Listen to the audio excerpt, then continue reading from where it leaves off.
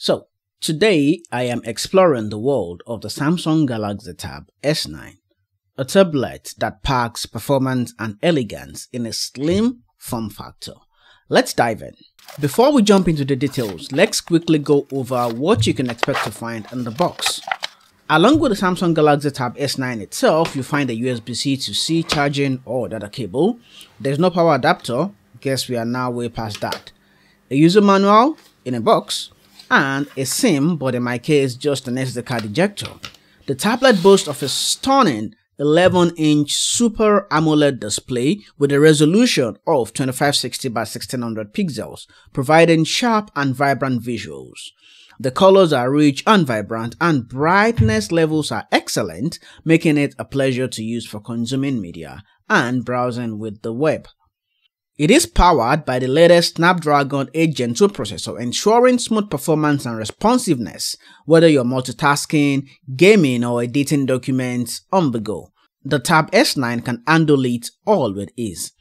With its general storage options, you can choose between the 120GB, 256GB variant if that's enough for you, or you can expand the storage further up to 1TB even with a microSD card support of up to 1TB.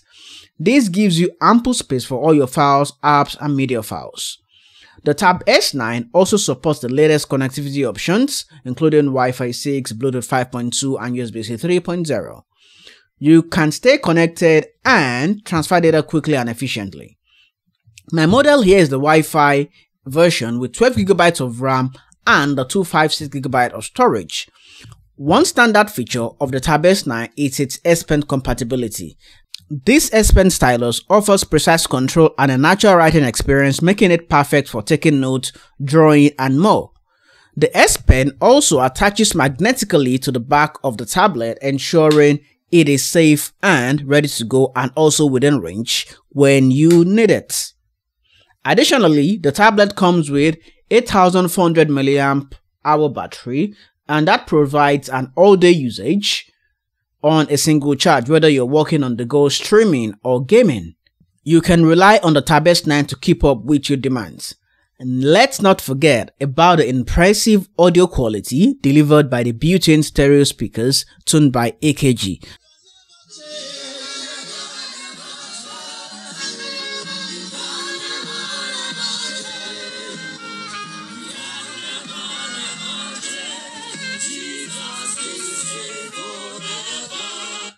You probably would never hear the great quality of that audio, but if you're really close to it, you can feel it, you can see it, you can literally see the sound. Literally, yeah.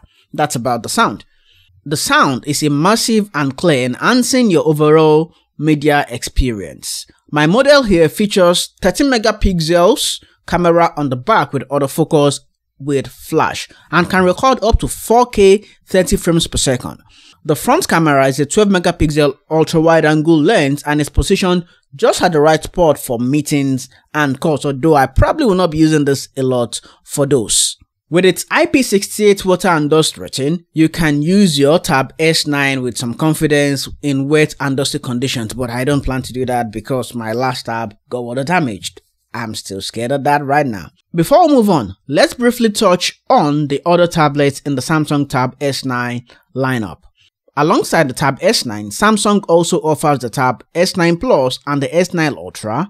S9 Plus offers a larger display of 12.4 inches, making it ideal also for multimedia consumption and productivity tasks. It also features a larger battery ensuring longer usage time. The Tab S9 Ultra, which is the big boy in the series, is a whopping 14.6 inches screen, which literally almost computer most laptops out there and it offers you, you know, a laptop like experience when you're connected to a keyboard case giving you an immersive experience. Samsung also recently released the tab s9 fan edition which is generally about half or three quarter of the cost of the tab s9 and still offers some decent specs and this could be your choice if you're not looking for all the fancy and luxury features of the Tab S9 series that is on the premium. And this is what the pricing and major spec comparison between all the tabs in the Samsung Tab S9 series looks like. Having spent some time with the Samsung Galaxy Tab S9, I can say the design is sleek and more than with the slim bezels around the edges which makes it and gives it a premium build and quality feel. Feels great in the hand to hold with a slim profile making it easy to carry around. The display is absolutely stunning with vibrant colors and excellent brightness controls. Whether you're watching movies, playing games, editing photos, videos, everything looks incredibly sharp and detailed. So far, the performance has been outstanding with smooth multitasking between apps, launching apps, the Snapdragon 8 Gen 2 processor coupled with the RAM size 8GB on the base model and 12GB on mine ensures a lag-free experience even when running demanding apps and games. Switching between apps is nice and easy and seamless, and there's no noticeable slowdown even when running multiple apps running in the background on the tablet. The S Pen integration has been seamless for me, allowing precise note-taking and creative tasks, whether I'm jotting down ideas, sketching, or navigating through the user interface. The S Pen offers a responsive and accurate experience. The tablet also supports Air Actions, which allows you to perform certain actions by waving the S Pen in the ear. I generally don't do that a lot. It's a unique and convenient feature to add with an extra level of interactivity. The battery life also has been impressive. With moderate usage, including web browsing, video streaming, and occasional gaming, the Tab S9 easily lasts throughout the day. Even with heavy usage, sometimes it can still provide a full workday's worth of power. And when it's time to recharge, the 45 watt fast charging support ensures that you can get back to using the tablet quickly. Overall, I am impressed with the initial experience of using the Samsung Galaxy Tab S9 coming from an S6 Lite. It offers premium design, stunning display, and powerful performance on the go. That's my summary of the usage. One standard feature of the Samsung Tab S9 is its compatibility with Samsung DeX. Samsung DeX is that feature that helps you fully kind of turn your tablet into a desktop experience by ensuring that you can have multi-window side by side and perform a whole lot of multitasking function. And you can also connect this to an external display. But note that when you connect the Tab S9 to an external display, if you're using the new mode, it only duplicates the display. But if you want to extend the display so that you have a tablet interface on your tablet and a desktop interface on your external display, you would definitely need to go to the old mode on the DeX settings on the tablet. I think that's just a caveat. I hope in the future Samsung is going to fix that with a software update. One other neat feature of the Samsung Galaxy Tab S9, and I think with most of the new Samsung lineups, is multi-control, which allows you to share your peripherals like mouse, keyboard between your Samsung devices. For example, I can control my Samsung S1 Ultra and my Samsung Galaxy Tab S9 using the same mouse and keyboard by just connecting it up and then just moving it around. And that makes it easy for me to be able to drag and drop files, share copy files within applications, and generally just be productive on the go. For me, productivity is the main thing I try to achieve from time to time with all the kind of range of devices I try to get for myself. Talking about accessory options, Samsung offers some impressive accessories, which doesn't actually cost a lot. I actually like the fact that the S Pen comes bundled with the Samsung Galaxy Tab S9.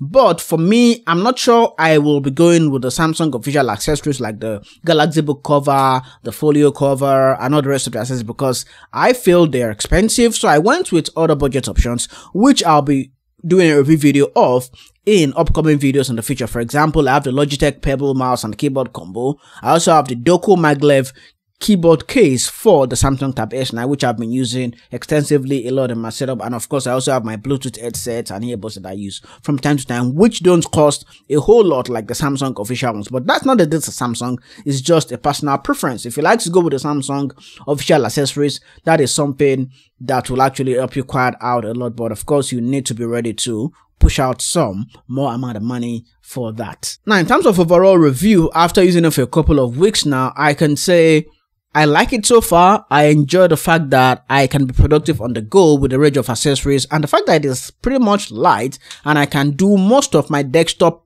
activities on this also, at least once I'm in the browser. Some mobile apps are still not as compatible on the Android ecosystem, even some iOS ecosystems also at the moment. But for most of the things I need to do on the go, like consuming media, writing, and you know, updating and just consuming media on the go and drawing, sketching and planning stuff, this comes in handy for me and I don't have to worry while I'm on the go. And of course, whether I'm even in my home office, I can use this to watch videos, consume media as I work on my main computer system. And I think that's my overall review of the Samsung Galaxy Tab S9. If you like this video so far, or you're considering getting one, I'll put some of the links in the video description and also pin a comment for you to check out and decide for yourself if it is something you really want to get. But I think overall, I like it so far and I've been using it extensively actually. And I'll go back to actually using this as my, as my teleprompter device because currently I'm using my phone because I'm reviewing this for you. Uh, but generally, I like it. It's, it's, it's pretty nice and, and easy. You know, it feels premium. Of course, I'm not trying to bend it. Yeah, this one here, I like it. I like it. Feels good. And the glass feel is also nice. Of course, it's touchy, and you know, it's it's what it is. I like it. That's what I think about it. Of course, if you like this video so far, give it a thumbs up and subscribe to my channel if you haven't done so yet so you don't miss any further videos like this one. And until I come your way again with yet another video, you know what I say? Stay safe and goodbye.